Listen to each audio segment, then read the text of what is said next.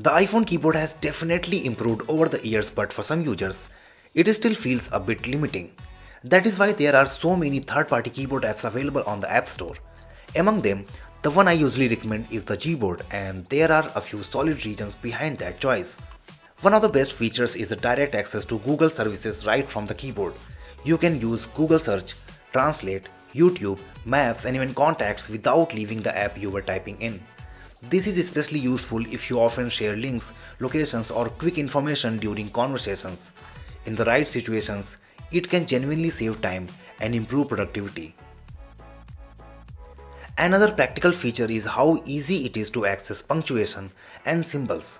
By long pressing the period key, you can quickly pick from a range of symbols. It is a small thing, but it does make typing faster and a bit more convenient. If you often use GIF or stickers while chatting, Gboard makes things really easy. It comes with a huge collection of GIF and stickers and you can search for them directly from the keyboard.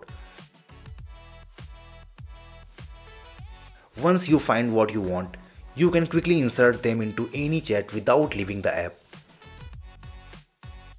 For those who like a bit of customization, Gboard gives you plenty of options to play with. You can change theme, add a custom background, tweak key colors, adjust key pop-up styles, and even modify the swipe trail effect. It is not a must-have feature but these small touches do help the keyboard feel more personal and comfortable to use.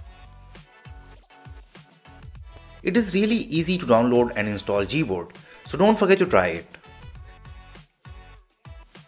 Just keep in mind that iPhone may still switch back to the native keyboard in certain situations such as password field or on the lock screen.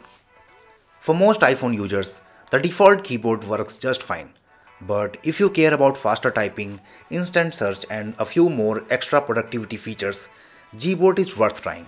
And if you have switched from Android to an iPhone, you already know how much more capable Gboard can feel compared to the standard iOS keyboard.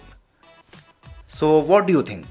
Is the default iOS keyboard good enough or do you prefer Gboard? Let me know your thoughts in the comments. That's it for this video. Don't forget to subscribe for more tech videos. Thanks for watching.